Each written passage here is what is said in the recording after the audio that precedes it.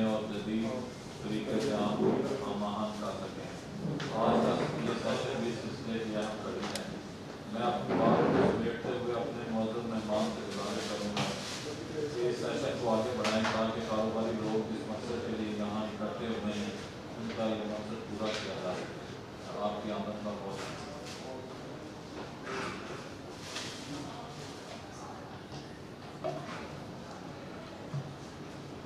शुक्रिया, सर। मैं Pakistan stock exchange की मैनेजमेंट की तरफ़ से आप सबको वेलकम करता हूँ गुजरा गुजरावाला चैम्बर ऑफ़ कॉमर्स में। और वी रियली अप्रिशिएट कि ये हम ऑनगोइंग बेसिस पे almost after every two two three month हम गुजरा गुजरावाला चैम्बर में विज़िट करते हैं। और इस इस सिटी की तरफ़ से बिज़नेस कम्युनिटी की तरफ़ से इन्वेस्टर्स की तरफ़ से वो हमेशा वो अ, हमें हमारा मैसेज सुनते हैं और डेफिनेटली स्टॉक मार्केट का जो रोल है उसमें फिर वो चाहे इन्वेस्टमेंट के कॉन्टेस्ट में हो या अ, जो बिज़नेस की जो नीड्स हैं उसको फुलफिल करने के लिए हो वो इससे मुस्तफ़ होते हैं।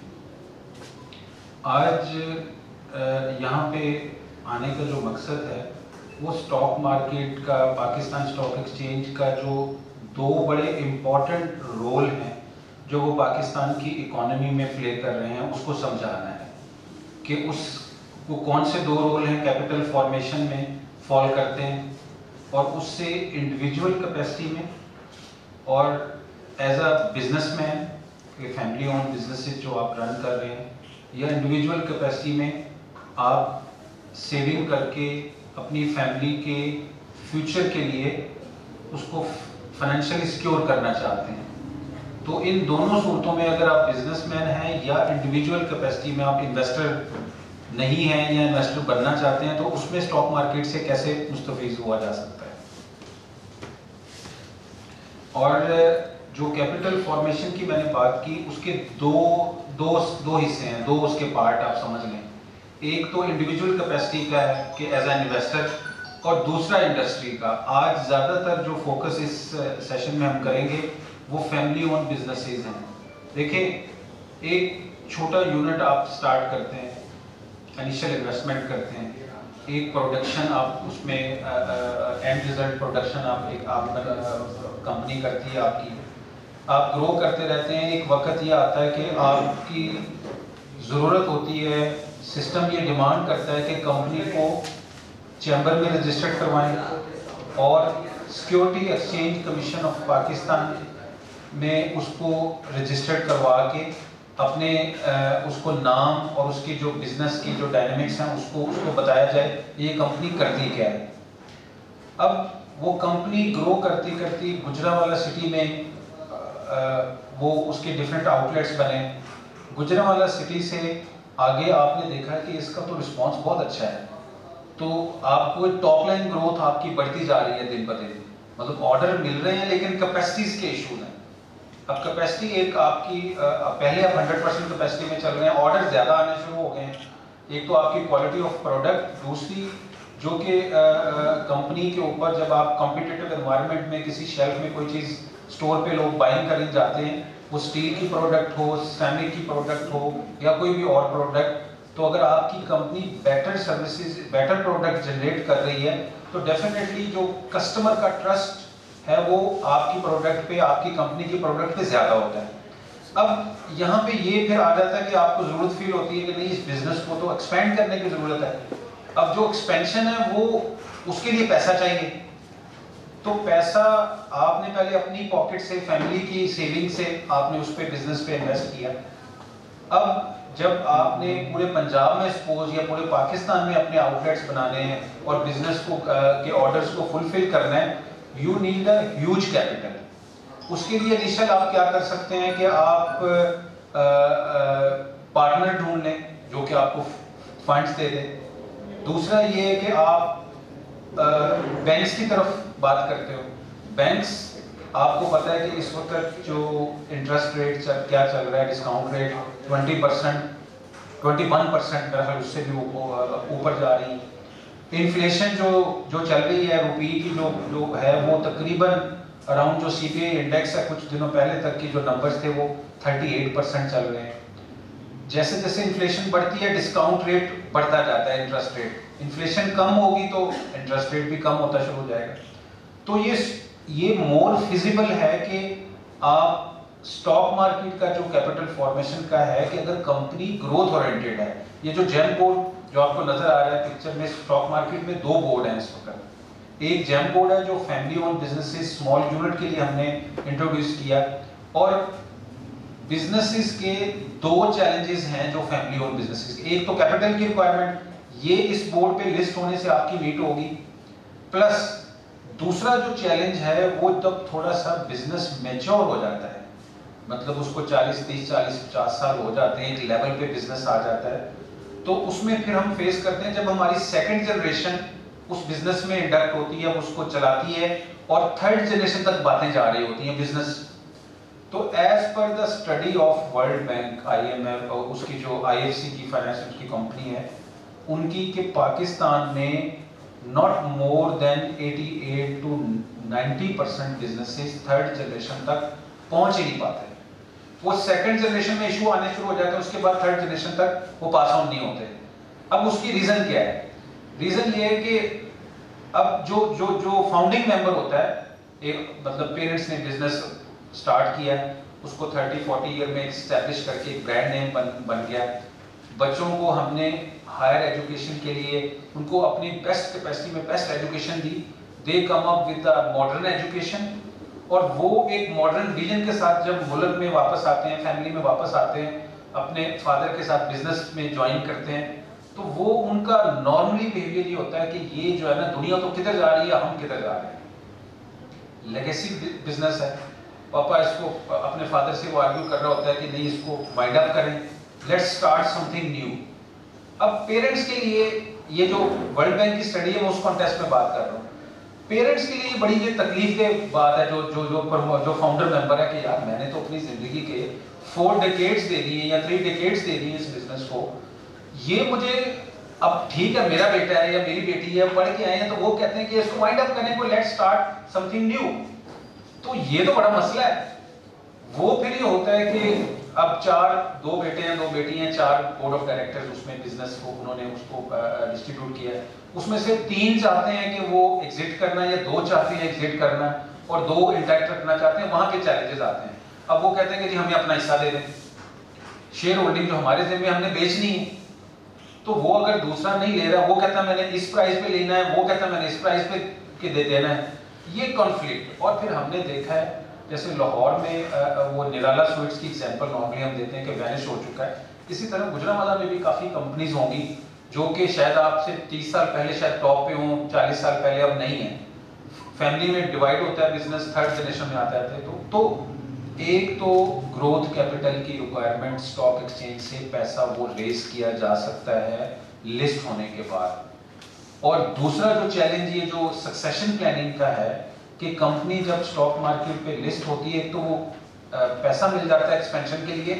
प्लस आपका जो फैमिली ओन बिजनेसेस है can move can go across generation तो वो ये जो बड़े बड़े ग्रुप्स इस वक्त पाकिस्तान में नज़र आ रहे हैं पैकेजेस है निशाद ग्रुप है लेक्सन है एंग्रो है, ये मल्टीपल ग्रुप ऑफ़ कंपनी से ये कैसे बने स्टॉक मार्केट का प्लेटफॉर्म इन्होंने यूटिलाइज किया है। अब एक कंपनी, क्योंकि आपका सारा जो आपकी जो पूरे रिसोर्सेज हैं आपके माइंड के, वो आपके सुबह से लेकर शाम तक अपने बिज़नेस में कंज्यूम हुए होते हैं। आप कोई और चीज़ ना आपको सोच रहे होते हैं, सारा फोकस अपने बिज़नेस की तरफ़ होता है। अगर आप कंपनी को लिस्ट कर लेते हैं और अपनी कुछ शेयर होल्डिंग को, अपने रिस्क जो उसको डिल्यूट करके 15 percent twenty percent twenty percent public को दे देते हैं 75 परसेंट आपके पास रहता है तो आपके, आप डेफिनेटली जिसने एक कंपनी खड़ी की है, वो मल्टीपल कंपनी क्यों नहीं खड़ी कर सकता? क्यों? इसलिए नहीं कर सकता जो कि पहले केस में, क्योंकि उसके पास टाइम ही नहीं होता। उसने पीएंस के मेटल भी देखने तो उसने खुद करने हैं, उसने अकाउंट खाते भी देखने हैं, उसने खुद करना है, उसने मार्केट को भी देखना वो खुद ही। तो वो बेसिकली वन मैन शो होता है, जो लोकल बिज़नेस जो फैमिली ओन बिजनेसेस में हम देख रहे होते हैं। और अगर वो प्रॉपर सक्सेशन प्लानिंग किसी को वो स्किल हैंड ओवर नहीं किया जो उसके पास है। जैसे ही खुदा न खास्ता ज़िंदगी मौत अल्लाह के इख्तियार में बंदा हेल्थ रिलेटेड मसले आ जाते हैं, वो जैसे एक एक्टिव लाइफ से पैसिव लाइफ में जाता है बंदा तो बिज़नेस अफेक्ट होना शुरू हो जाता है। और जो उसकी अगर सक्सेशन प्लानिंग प्रॉपर नहीं है तो वो बिज़नेस डेफिनेटली फिर वो एक ऐसे लेवल पे आ जाता है जहाँ पे हमने देखा है कि चीज़ें कोलैप्स होती हैं वाइंडिंग अप में जाता है, आखिर कॉम्पिटिटिव इन्वायरमेंट में है आपका जो कॉम्पिटिटर है वो ग्रो कर जाता है। तो स्टॉक मार्केट के पीएसएक्स के दो आ, आ, आ, जो फ़ायदे हैं जो पब्लिक चाहे इंडिविजुअल कैपेसिटी में चाहे वो फैमिली ओन बिजनेसेस हैं इंडिविजुअल कैपेसिटी में आप अपनी सेविंग अगर स्टॉक मार्केट में लॉन्ग टर्म इन्वेस्ट करते हो तो उसमें आपको रेट ऑफ़ रिटर्न एक अच्छा मिल सकता है। नौ डेज़ जो जो तीन से छः माह में जो ये सूरत मुल्क में चली हुई है ये बहुत क्रिटिकल ये स्पेशल स्नैरियो है, जिसमें कि हर चीज़ ही वो रिवर्स में चली गई है बट वी होप इनशाला ये जैसे ही पॉलिटिकल सेटलमेंट होती है तो अगेन मुल्क की जो इकोनॉमी है, जो जो सिक्स परसेंट ग्रोथ से हम वापस इस जगह पे आए हैं तो ये इन्फ्लेशन भी कम हो जाएगी इंटरेस्ट रेट भी कम होगा तो वो दोबारा ये कॉस्ट ऑफ़ लिविंग जो कि हाई साइड पे चली गई इतनी ज़्यादा, वो वापस रिवर्स गियर इंशाल्लाह ये लगेगा।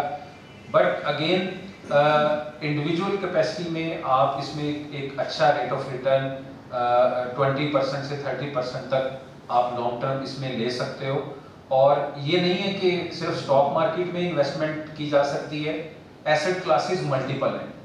मल्टीपल एसेट क्लासेस हैं, आप प्रॉपर्टी में कर सकते हैं म्यूचुअल फंड जा सकते हैं डिफेंस सेविंग सर्टिफिकेट्स आप ले सकते हैं, आप फिक्स डिपॉजिट में कर सकते हैं कमोडिटी मार्केट में आप इन्वेस्ट कर सकते हैं फॉरेक्स में जा सकते हैं, जो कि एक एक लेजिटिमेट रेगुलेटरी फ्रेमवर्क के अंडर कोई चीज़ पाकिस्तान में आइदर स्टेट बैंक के अंडर चल रही है या security exchange commission of Pakistan के अंडर चल रही है। लेकिन कोई भी एसेट क्लास है, वो डेफिनेटली उसकी आप की सुटेबिलिटी कि आपको वो सूट करती है इन्वेस्टमेंट और उससे एसोसिएटेड रिस्क वो जब तक आपको पता नहीं है, किसी भी एसेट क्लास में इन्वेस्ट ना करें। ये जो बिज़नेस वाली साइड है, जिसमें ये इन्वेस्टर अवेयरनेस के ऊपर जैम बोर्ड की हम बात कर रहे हैं, इसमें ये है कि जो मोटी मोटी रिक्वायरमेंट है, आप अगर ग्रोथ ओरिएंटेड कंपनी है तो डेफिनेटली आप पब्लिक से पैसा यहाँ पे ले सकते हैं। कंपनी को पब्लिक लिमिटेड कन्वर्ट करना पड़ेगा। Post issue paid up capital ढाई करोड़ होना चाहिए लिस्ट होने के बाद। ये कुछ मोटी मोटी रिक्वायरमेंट है, दो साल के ऑडिटेड अकाउंट और फिर प्रॉफिटेबिलिटी बट अगर जस्ट आइडिया है कंपनी पहले चल रही है प्रोडक्शन में तो वो ब्राउन फ़ील्ड में फॉल करती है। ये टेक्निकल टर्मिनोलॉजी है, उसको ब्राउन फ़ील्ड कहते हैं, कि ब्राउन फ़ील्ड प्रोजेक्ट है। लेकिन अगर जस्ट आइडिया है, आपने कोई नई कंपनी स्टार्ट करनी है तो वो फिर आएगी ग्रीन फ़ील्ड में। अभी जस्ट आइडिया है, आप अपनी सब्सिडरी बनाई है, उसको रजिस्टर्ड करवाया है एसएससीपी में, और आप उसका एक एडिशनल अपनी कंपनी का विंग खोलना चाहते हैं तो वो इन्वेस्ट फंडिंग आएगी तो उसमें प्लांट लगेगा इक्विपमेंट आएगा, जगह सारा कुछ। तो वो ग्रीन फ़ील्ड में फॉल करती है। अब जब कंपनी ग्रीन फ़ील्ड में फॉल करती है तो उसके लिए ना ऑडिटेड अकाउंट की रिक्वायरमेंट है, ना प्रॉफिटेबिलिटी की रिक्वायरमेंट है। ये सारे कुछ, ये दोनों रिक्वायरमेंट वेव ऑफ़ हैं। और इसकी जो अप्रूवल है, वो पाकिस्तान स्टॉक एक्सचेंज की लिस्टिंग कमेटी ने देनी है। तो इससे फ़ायदा इस ऑप्शन से उठाया जा सकता है। अगर आप 100 परसेंट ही अपनी जो एग्जिस्टिंग कंपनी है, उसमें पाए हैं तो फिर आपके लिए मुश्किल होगा वक्त निकालना। लेकिन अगर आप प्रोफेशनल मैनेजमेंट हायर करते हैं, जो कि कंपनी को रन करती हैं, आप बोर्ड बोर्ड ऑफ़ डायरेक्टर में एज अ चेयरमैन बैठ के अपनी कंपनी को मॉनिटर करें और देखें कि वो ट्रैक पे है या नहीं है और उसको एडमिनिस्ट्रेट करें। कंट्रोलिंग अथॉरिटी कंट्रोलिंग शेयर्स आपके पास ही होते हैं। तो ये एक मैकेनिज्म है जिसमें स्टॉक मार्केट के ऊपर आके आप इंडिविजुअल कैपेसिटी में इन्वेस्टमेंट कर सकते हैं। और अगर फैमिली ओन बिजनेसेस हैं तो instead of getting growth capital from banks या किसी और फॉर्म से आप स्टॉक मार्केट से पैसा वो ले सकते हैं लॉन्गर पीरियड ऑफ़ टाइम के लिए। और मैं ये एक बात बताऊँ कि जब पीएसएक्स में कोई भी कंपनी लिस्ट होने आती है based on the company investor जो है ना, वो मल्टीपल प्रीमियम पे करने को तैयार हो जाता है। वो दस रुपए का अगर आपने शेयर ऑफ़र किया है तो हमने देखा है कि वो इन्वेस्टर थर्टी फोर्टी रुपीज़ में वो शेयर परचेज कर रहा होता है। क्योंकि उसको कंपनी में जान नज़र आ रही होती है, उसके डॉक्यूमेंट्स में अकाउंट्स में बिज़नेस प्लान में जो कंपनी सबमिट करती है, वो इन्वेस्टर डिस्काउंट करके उसको देखता है कि अगर आज मैंने ये दस रुपए चला, चले, इन्होंने ऑफ़र प्राइस लगाई है दस रुपए में ऑफ़र कर रहे हैं तो मैं अगर बीस रुपए पे ले लूँ, तीस रुपए पे ले लूँ, चालीस रुपए पे ले लूँ, फिर भी सस्ता है। क्योंकि अगर ये जो पैसा इन्हों, इनको मिल गया, ये लेके जब उसको बिज़नेस चलाएँगे और फिर इनके क्लाइंटेज बढ़ेगी, इनकी जो डिमांड पूरी होगी, जो टॉप लाइन ग्रोथ होगी, उसमें से आफ्टर पेइंग टैक्स जो फिर जो पास ऑन होगा, एक तो जो मार्केट में शेयर वैल्यू अप्रिशिएट होती है वो लेदर से, फिर वो जो कंपनी का प्रॉफिट मिलता है, उसमें से पास ऑन किया जाता है शेयर होल्डर्स को। डिविडेंड की फॉर्म में बोनस शेयर्स की फॉर्म में वो चीज़ें भी उनको पास ऑन की जाती हैं। तो वो इन्वेस्टर और हमने देखा है कि वो 27 over times over subscribe five times over subscribe कि लोग जो है इन्वेस्टर कंपनी का अगर उनको समझ आती है हाँ इसमें अगर कंपनी अच्छा बिज़नेस नहीं करती तो उसके शेयर की वैल्यू नीचे जाती है। जो प्रोमिस किए जाते हैं, अगर वो प्रोमिस की फंडामेंटल जो बेसिस हैं वो चेंज हो गई जैसे अभी रॉ मटेरियल के ऊपर काफ़ी सेक्टर्स हैं जिनका वो डिपेंडेंसी है कि वो मटेरियल बाहर से आएगा तो फिर वो मैन्युफैक्चरिंग होती है, फिर प्रोडक्शन होती है। अब जब एल के मैटर्स आ रहे हैं, बाहर से हमारे पास डॉलर नहीं है तो वो रॉ मटेरियल नहीं आ रहा तो वो अफेक्ट हुई है कंपनी लेकिन जो लोकल प्रोडक्शन जिसकी हो रही है या किसी और चैनल से वो रॉ मटेरियल मिल रहा है, उनकी कॉस्ट ऑफ़ डूइंग बिज़नेस वो बढ़ गई है। तो वो at the end of day आपने कितना खर्चा हुआ और कितने पैसे कमाए और फिर पास ऑन कितना किया? तो ये सारे इन्वेस्टर जो है बड़े केयरफुली इस सारे सिनेरियो को वो मॉनिटर कर रहे होते हैं और फिर वो तैयार होते हैं इन्वेस्टमेंट करने को। और बट लेकिन जब भी हमने ये बात तमाम चैम्बर जो पंजाब के सियालकोट, गुजरावाला, फैसलाबाद या भावलपुर अभी तीन मई को भावलपुर चैम्बर ऑफ़ कॉमर्स में थे तो लोगों के जो फैमिली और बिजनेसेस हैं, उनकी कुछ ऑब्जर्वेशन या उनकी रिजर्वेशन है। नंबर वन ये होती है कि शर्मा साहब को स्टेरिंग तो हम अपने कंट्रोल में रखना चाहते हैं। तो ये तो नहीं है कि स्टॉक मार्केट में आने के बाद हमारा कंट्रोल लूज हो जाएगा। नंबर वन क्वेश्चन ये उनका होता है। दूसरा उनका ये होता है कि जो इंडिपेंडेंट डायरेक्टर्स हैं बोर्ड में आएँगे तो वो तो हमारे बिज़नेस को नहीं जानते। वो कैसे रन करेंगे? तीसरी चीज़ ये होती है कि मार्केट में अगर शेयर की वैल्यू गिर गई तो हमारी तो कंपनी फ़र्क हो जाएगी। ये ये तीन बड़े इंपॉर्टेंट क्वेश्चन जो उनके जेन में होते हैं, जो फियर्स होते हैं, उसको हम एड्रेस करते हैं कि देखें अनिशियली जो फ्लोट करने हैं शेयर आपने 15 परसेंट, बीस परसेंट, पच्चीस परसेंट करने होते हैं। 75 परसेंट शेयर होल्डिंग आपके पास प्रमोटर्स और फाउंडर मेंबर्स और डायरेक्टर्स के पास होती है। ठीक है number one at least controlling authority तो 51 परसेंट है ना? कि 51 परसेंट से ज़्यादा है तो कंट्रोलिंग अथॉरिटी आपके पास है चेयरमैन आपका बोर्ड आपका।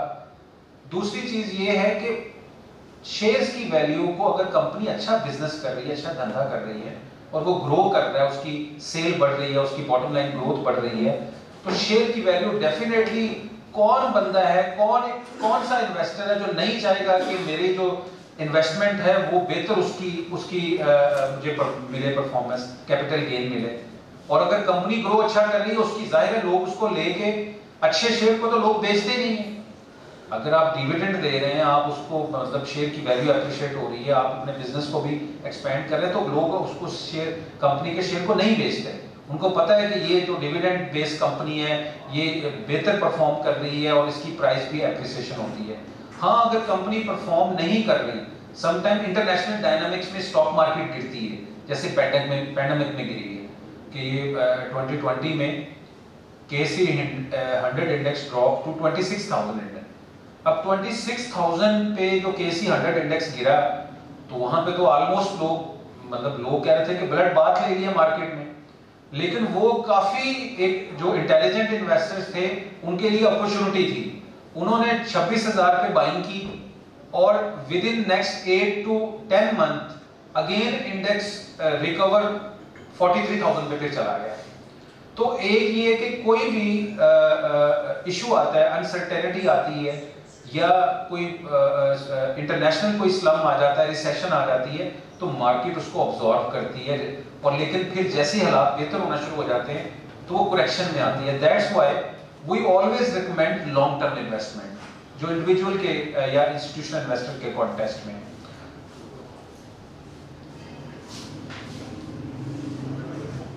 इसमें एक और क्वेश्चन होता है फैमिली ओन बिजनेसेस का कि जी हम अगर स्टॉक मार्केट में अपनी कंपनी को लिस्ट करवा लिया तो ये तो रेगुलेटरी कंप्लाइंसेस बहुत ज़्यादा है डिस्क्लोजर बहुत देने पड़ेंगे। हम तो इंडिपेंडेंटली काम ही नहीं कर सकते। तो ये जो कंप्लाइंस होती है गुड गवर्नेंस स्ट्रक्चर किसी भी अच्छे रेगुलेटरी फ्रेमवर्क के अंडर वो आपके बिज़नेस को आपके जो मैनेजमेंट स्टाइल है उसको डिसिप्लिन करती है। आपको मतलब ऐसे डिसीज़न मेकिंग जो कि आप समटाइम जो लहर है वो जो मतलब वन मैन शो होता है, उसमें जो भी डिसीज़न आपने किया, वो आपका डिसीज़न सही भी हो सकता है, गलत भी हो सकता है।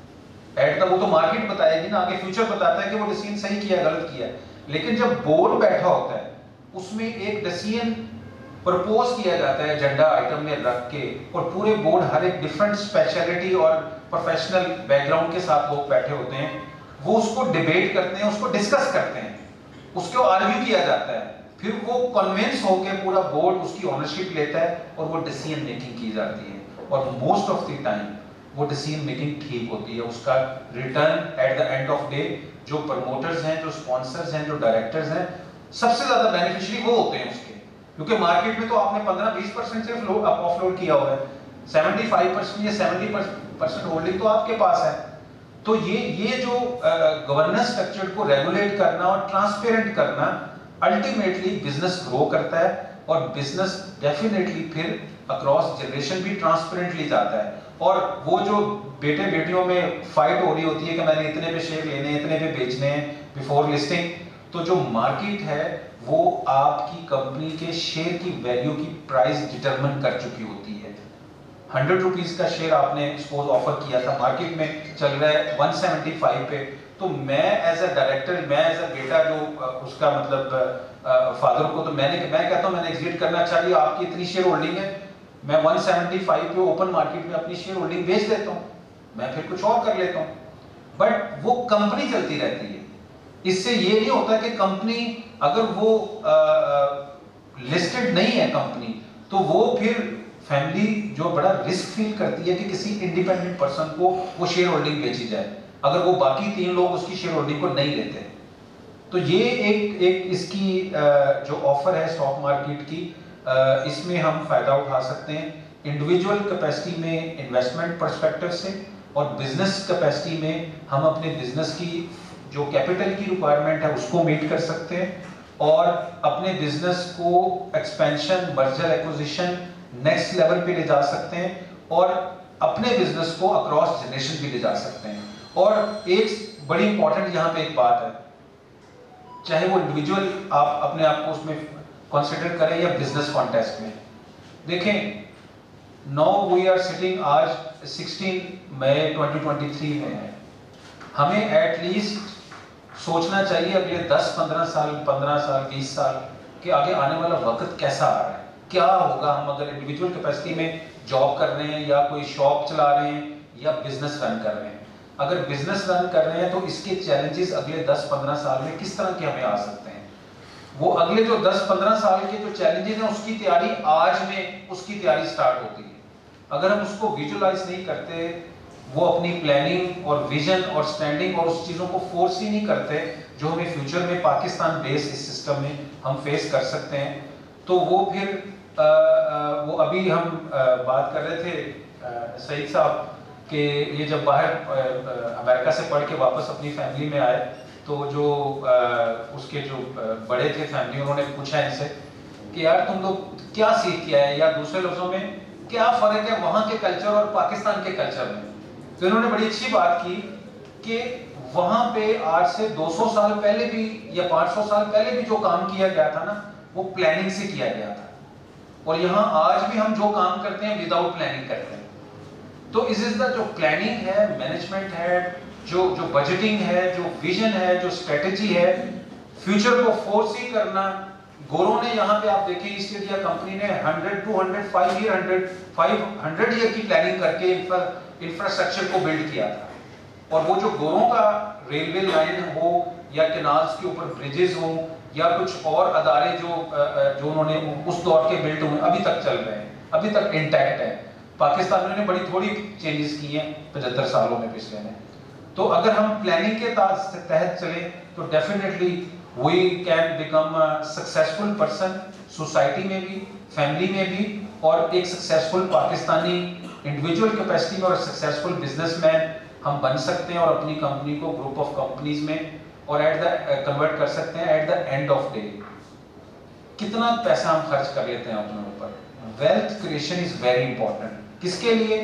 आप अपने बिज़नेस को ग्रो करते जाएँगे, आप जॉब अपॉर्चुनिटी पैदा कर रहे होंगे। आप ज़्यादा टैक्स दे रहे होंगे। आप स्टेट को भी सपोर्ट कर रहे होंगे। पूरा एक लाइफ साइकिल है, पूरी सोसाइटी उससे बेनिफिशियल हो रही होगी और वो सारा बेनिफिट घूम के उसके बेनिफिशियरी भी आप ही होंगे। बाकी लोग भी होंगे पब्लिक भी होगी स्टेट भी होंगे, सारे प्लेयर्स होंगे बट सबसे ज़्यादा बेनिफिशियरी आप होते हैं। और हमने देखा है कि कुछ लोग सक्सेसफुल लोग हैं, पाकिस्तान में भी और नेबरिंग कंट्री इंडिया की अगर एग्जांपल देखें। एक ज़िंदगी में वो तीन तीन, चार चार जिंदगियों के काम कर जाते हैं। At the end of day ये हमारे अपने अख्तियार में है कि हम अपने माइंड को अनलॉक करें। अनलॉक करके तो ब्रॉडर वे में एक एक बड़े डिसीज़न किए जाएँ जिससे हम अपनी फैमिली को, अपने सिटी को और अपने कंट्री को आगे प्रोग्रेसिव पाथ में लेके जा सकें। थैंक यू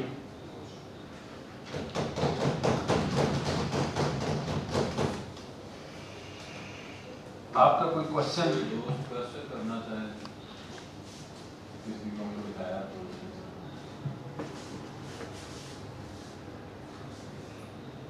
कोई नहीं कोई दोस्त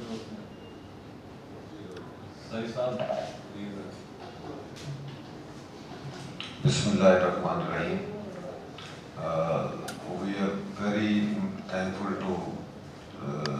हमारे जो स्टॉक एक्सचेंज के लिए आज दोस्त आए हुए एंड उसके साथ साथ हमारी ये बहुत बड़ी बदकिस्मती है कि इस किस्म की जो अपॉर्चुनिटीज़ हैं इसके लिए हमारे दोस्त बिल्कुल तवज्जो नहीं देते।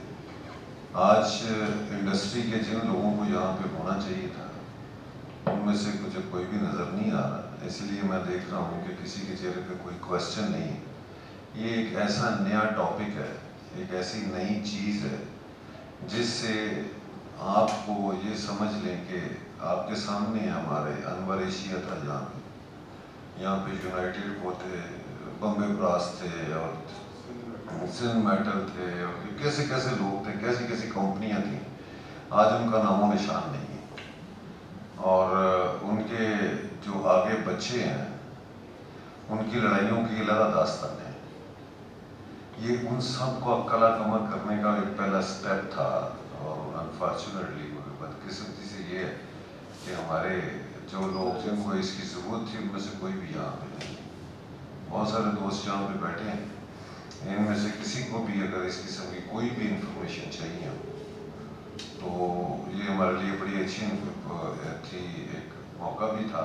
और बाकी मैं ज़रूर कहूँगा सरमद साहब से भी, नसीर साहब से भी, कि अपना कोई कांटेक्ट नंबर जो है वो हमें यहाँ पे चैम्बर को ज़रूर दे के जाइएगा, ताकि हम बाकी दोस्तों को बताएँ और किसी को अगर ज़रूरत हो तो वो आपसे रबता करके तो मज़ीद और ये जो स्ट्रक्चर ये जो आज की मीटिंग है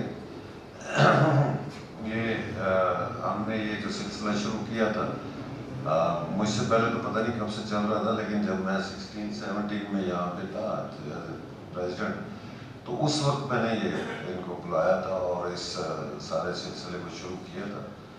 और आज भी बहुत सारे दोस्तों को हम इंफॉर्मेशन पहुँचा रहे हैं और कुछ लोग इससे बेनिफिट भी ले रहे हैं। और मेरा नहीं ख्याल कि इसमें ऐसी ऐसी एग्जांपल्स हैं, लोगों ने अपने 10 परसेंट या 15 परसेंट शेयर बेच के अपनी पूरी पूरी कंपनी से ज़्यादा पैसा इकट्ठा किया। जितनी उसकी टोटल वैल्यू थी, उससे ज़्यादा पैसे इकट्ठे किए। तो ये सारा कुछ हो सकता है और नई कंपनियाँ लग सकती हैं, नई आज आपको जो जो मल्टीनेशनल कंपनियाँ नज़र आ रही हैं, वो सारी उनका अपना पैसा कोई नहीं है। वो इसी तरह प्लान करके चलते हैं। आपसे आपको शेयर बेचते हैं आपसे पैसे इकट्ठे करते हैं और एक नई कंपनी बना के तो खुद वो उधर बैठे होते हैं।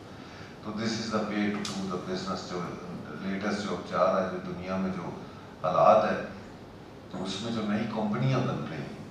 तो मैं अभी देख रहा था कि हमारे एक साथ जो थे, वो यहाँ पे अपने बिज़नेस के कार्ड्स डिस्ट्रीब्यूट कर रहे थे। तो मैं उनसे भी स्पेशली कहूँगा कि वो आए हैं यहाँ पे वट ही फील्स और वो क्या कहना चाह रहे हैं, क्यों कार्ड देना चाह रहे हैं, क्या कंपनी उसका आप इंट्रोडक्शन करा। बहुत शुक्रिया। वो बिज़नेस कार्ड जो थे, वो हमारी कंपनी की जानब थे। हमारी कंपनी का नाम है P M A capital management limited basically Pakistan stock exchange में जो शेयर ट्रेड होते हैं, उनकी जो ट्रेडिंग है, उनको करने के लिए स्टॉक एक्सचेंज ने जिन ब्रोकर्स को लाइसेंस दिया है, यानी कि जो पब्लिक डीलिंग के हवाले से जो लोग शेयर लेना और बेचना चाहते हैं या स्टॉक एक्सचेंज में अपनी कंपनी को लिस्ट कराना चाहते हैं, वो हमारी कंपनी की सर्विसेज़ हासिल कर सकते हैं। बीएमए का कार्य थोड़ा सा करा दूँ मैं ब्रांच मैनेजर हूँ बीएमए का मेरा नाम फैसल यकूब खोखर है। I am branch manager of BMA capital management limited हमारा जो ऑफ़िस है, वो स्टैंडर्ड चार्टर्ड बैंक के बिल्कुल सामने है। और हमारी कंपनी का ये ए आउट कंपनी जो है, वो one of the oldest and top financial groups में है। हमने काम का स्टार्ट किया था उन्नीस सौ बानवे में और हमारी कंपनी की जो कोर सर्विसेज़ हैं, वो हम सर्विसेज़ देते हैं इक्विटी मार्केट में डेली मार्केट में कॉर्पोरेट फाइनेंस एंड एडवाइजरी में और इसके अलावा रिटेल ब्रोकरेज और फाइनेंशियल प्रोडक्ट डिस्ट्रीब्यूशन सर्विसेज़ ये हमारी कंपनी की जो बुनियादी हैं, वो सर्विसेज़ हैं।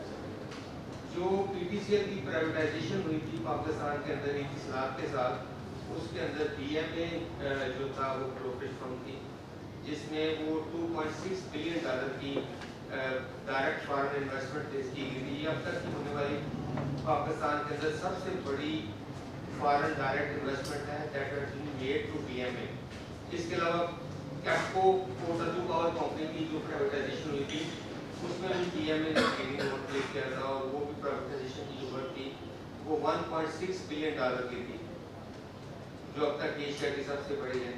तो आप में से जो दोस्त स्टॉक मार्केट में अकाउंट ओपन करना चाह रहे हैं मेरे कार्ड डिस्ट्रीब्यूट किए गए हैं तो वो मुझसे रब्ता कर सकते हैं, हमारी वेबसाइट भी है। हम आपको ऑनलाइन ट्रेडिंग प्लेटफॉर्म प्रोवाइड करेंगे, आपका अकाउंट खुलेगा। बिल्कुल इसी तरह जिस तरह बैंक में अकाउंट खुलता है। हम आपसे वो तमाम बैंक की डिटेल ले लेंगे आपकी। और जो भी पेमेंट आप ई में करेंगे अपने शेयर खरीदने के लिए, वो ऑनलाइन करेंगे। और जो भी पेमेंट आपको वापस मिलेगी, वो आप अपनी ऐप से अपने बैंक में पेमेंट ऑनलाइन वापस मंगवा देंगे और एनी इन द वर्ल्ड जहाँ पे दुनिया पे इंटरनेट है, हम आपको आपके अकाउंट का एक्सेस देंगे यूज़र आईडी पासवर्ड आप अपने मोबाइल से, अपने लैपटॉप से, अपने सिस्टम से, वहाँ पे बैठ के शेयर्स में ट्रेडिंग कर सकते हैं। इसके अलावा अगर आप अपनी कंपनी को लिस्ट करना चाहते हैं जैसा कि साहब ने कहा कि स्टॉक एक्सचेंज में तो उसके लिए भी हम अपनी सर्विसेज़ जो है वो प्रोवाइड करते हैं। ये हमारा थोड़ा जो भी उसके मैंडेटरी रिक्वायरमेंट्स है first of all as a consultant उनका ऑडिट ऑडिट करवाना उनके शेयर की जो वैल्यू एक्सचेंज करना उसके बाद उनका जो जितने शेयर हैं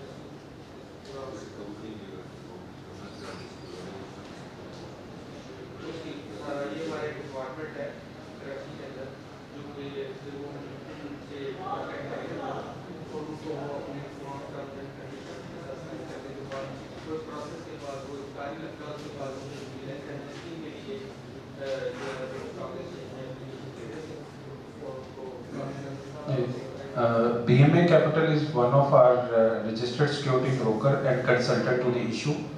और आल्सो इज़ टॉप टेन जो सिक्योरिटी ब्रोकर हैं हमारे इस वक्त 200 के करीब रजिस्टर्ड सिक्योरिटी ब्रोकर है जिनको लाइसेंस इशू करता है security exchange commission of Pakistan तो इनका सी का भी लाइसेंस है जिसमें ये कंसल्टेंट एडवाइज़र का रोल भी प्ले कर सकते हैं वो आपकी कंपनी को असेस करके उनकी वैल्यूएशन उनकी ब्रांडिंग उनकी मार्केटिंग उनको लिस्टिंग इनेबल करके और वन विंडो ट्रांजैक्शन है ये, जिसमें ये टिल आपको आपकी वैल्यूएशन कितना प्रीमियम मिलेगा फिजिबिलिटी है भी है कंपनी रेडी है, अभी है छः माह बाद है, साल बाद है, ये पूरी वर्किंग करके कहाँ कहाँ लूप होल्स हैं, कहाँ कहाँ गैप्स हैं अकाउंट्स कैसे ठीक करने हैं ऑडिटेड कैसे करवाना है वैल्यूएशन कैसे होगी, और लिस्टिंग कमेटी या एसएससीपी की अप्रूवल कैसे होगी प्रोस्पेक्टस कैसे बनेगा, अगर बड़ी कंपनी है तो वो सारा ये ये प्रोवाइड कर सकते हैं। इस वक्त अराउंड 200 सिक्योरिटी ब्रोकर्स हैं पाकिस्तान स्टॉक एक्सचेंज के और पंजाब में 146 ब्रांचेज हैं इनकी। आपके सिटी गुजरावाला में भी काफ़ी सिक्योरिटी ब्रोकर बैठे हुए हैं। बट बीएमए जो है, वो टॉप टेन में फॉल करता है। एज पर आर मतलब इनकी जो सर्विसेज़ हैं, इनके स्पेशलाइज्ड विंग हैं फाइनेंशियल एनालिस्ट हैं चार्टर्ड अकाउंटेंट्स हैं सी हैं इनके पास। इसी तरह बाकी भी सिक्योरिटी ब्रोकर की सर्विसेज़ वेरी करती हैं। वो सिर्फ़ कुछ ट्रेड्स करवाते हैं, कुछ कंसल्टेंसी सर्विसेज़ देते हैं, कुछ पोर्टफोलियो अकाउंट मैनेजर का कॉन्सेप्ट है कि आपके बिहाफ पे इन्वेस्टमेंट करते हैं और पूरी गाइडेंस देते हैं रिस्क मैनेजमेंट भी करवाते हैं। तो but again for investment purpose and for अगर आप ग्रोथ कैपिटल में जाना चाह रहे हैं कंपनी को लिस्ट कराना चाह रहे हैं तो यहाँ पे बी एम ए कैपिटल है। इसके अलावा भी तकरीबन 20 के करीब कंसल्टेंट टू द इश्यूज़ हैं वो हम चैम्बर को सारी लिस्ट और वो जो कॉन्टेक्ट है वो भी प्रोवाइड कर देंगे अगर आपको वो ज़रूरत पड़ती है या चाहिए आपको। थैंक यू बहुत शुक्रिया ना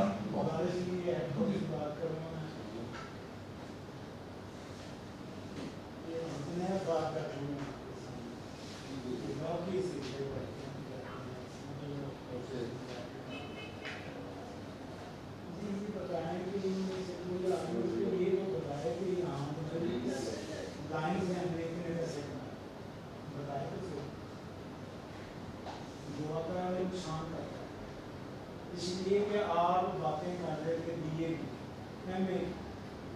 कंसल्टेंट की बात कर रहे आपने इब्तदाई प्राइमरी स्कूल की बात नहीं की मिडिल की बात नहीं की मैट्रिक की बात नहीं की। इनको डॉक्टर को समझाना, समझाता हुआ नहीं। अपना नुकसान करके आते हैं, नुकसान किया सकता नुकसान किया सकता कोई आदमी उठ के ये तो बताए हमने इतने पैसे कमाए इतने लगाए थे इतने हुए देखिए, कोई भी इन्वेस्टर जब वो अकाउंट अपना ओपन करता है ब्रोकरेज हाउस के पास जाता है, उससे वो बात करता है कि जी सपोज़ मैंने बीस हज़ार रुपया मैंने इन्वेस्ट करना है, मुझे इसकी गाइडेंस प्रोवाइड की जाए कि मैं इन्वेस्ट किस तरह के स्टॉक में करूँ, कब करूँ शॉर्ट टर्म इन्वेस्ट करना है या लॉन्ग टर्म इन्वेस्ट करना है? मेरे बेनिफिट में क्या होगा? ये सामने बी के ब्रांच मैनेजर बैठे हुए हैं। ये तमाम सिक्योरिटी ब्रोकर बड़ा कम्प्रीहेंसिव वो उसको गाइड करते हैं। समटाइम इन्वेस्टर आता है कि जी हम अपने डिसीज़न मेकिंग खुद करेंगे। आप हमें सिर्फ़ अकाउंट ओपन करने दें बाकी मार्केट को समझना उसके फंडामेंटल्स को जानना कब किसको बाय करना है कब किसको सेल करना है वो हम हमारे ऊपर छोड़ दें। उनकी अपनी स्टडी होती है। समटाइम वो किसी और से गाइडेंस ले रहे होते हैं ब्रोकर के ऊपर डिपेंड नहीं करते।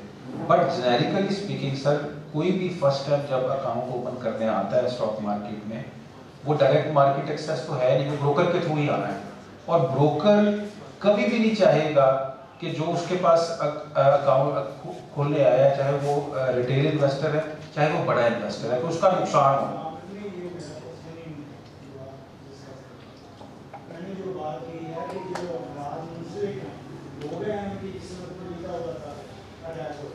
स्टॉक मार्केट में इन्वेस्टमेंट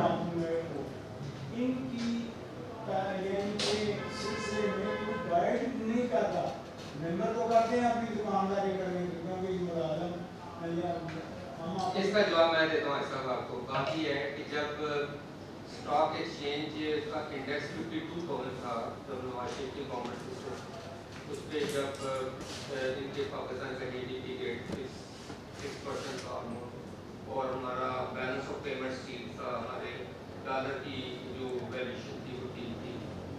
तो जब बिगाड़ उसको पहला शुरू हुआ, जब हमारी इकोनॉमी के नंबर जो है ख़राब होना शुरू हुए, हमारा बैलेंस ऑफ़ पेमेंट ख़राब हो गया, हमारा तजारती जो तोज़न था, वो डिसबैलेंस हो गया डॉलर की कीमत बढ़नी शुरू हो गई।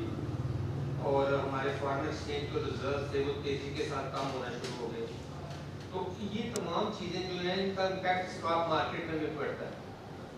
यानी आज से पहले जो होंडा कार कंपनी है, ये जो एच कार के नाम से, उसके शेयर की प्राइस थी आठ सौ रुपये अब वो मिल रहा है सौ रुपये में।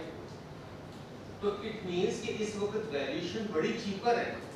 इस वक्त उनकी कीमतें शेयरों की बहुत कम हो चुकी हैं और this is the right time to buy ये दोबारा अब जैसा कि उन्होंने बताया कि हमारा जो मुल्क डेवलपमेंट की तरफ़ जाएगा, हमारे मुल्क में इन्फ्लेशन के नंबर भी कम आ जाएँगे। इस वक्त तो आप देखें ना हमारा जो शरह सूद है वो ऑलमोस्ट 20 परसेंट के पास है। इक्कीस परसेंट हो चुका है। और अब अपकमिंग स्टेट बैंक की जो पॉलिसी है उसमें स्टेट बैंक ऑफ़ पाकिस्तान जो है इसको अनचेंज रखता है या मजीद बढ़ाता है। तो 20 परसेंट के हिसाब से जब आप 21 परसेंट में जब 5 परसेंट फाइबर ऐड करते हैं तो 26 परसेंट में कौन सी जो इंडस्ट्री है वो सर्वाइव कर सकती है लोन लेके आप समझे ना कि अगर आप किसी से इरादे से ये अपने बात है। ऐसे साहब प्लीज़ आप तो हटा हिंदी में मैं आपको जो बता रहा हूँ। उसी ने सामने बता दस से रिव्यू मैं तो आपको पूरी काम कर ये नहीं कि तो आगे को कुछ शिकायत करना मकसद है नहीं नहीं मैं आपको ये बता रहा हूँ। अर्ज़ करना समझा कि इस मामले के ऊपर के मैं मैं थोड़ा सा थोड़ा सा आपसे मुख्तलिफ़ मैं मैं मैं आपको ये बता दूँ ये फोरम इसके लिए नहीं है। आप काइंडली इसको अंडरस्टैंड करें ये फोरम ब्रोकरेज हाउस के लिए नहीं है। ये उन कंपनियों के लिए है जो लिस्ट करना चाह रही हैं और पैसे लेना चाह रही हैं। जी this is the this is the difference ये ये दो ये ये फ़र्क था इसमें। आप जिस चीज़ की बात कर रहे हैं नो डाउट उसमें प्रॉब्लम्स हैं और आप इसके मैं ये दरख्वास्त करता हूँ हम ये ये हम ज़रूर करते हैं इन जो लोग हैं इनकी तालीम और तरबियत के लिए इब्तदाई तौर पर हम कोई सेशन रखें ताकि ये लोग सीखें और उससे पर जी बेहतर बेहतर बेहतर। नहीं इंशाल्लाह हम करते हैं। बहुत शुक्रिया। नहीं बहुत शुक्रिया दोस्तों।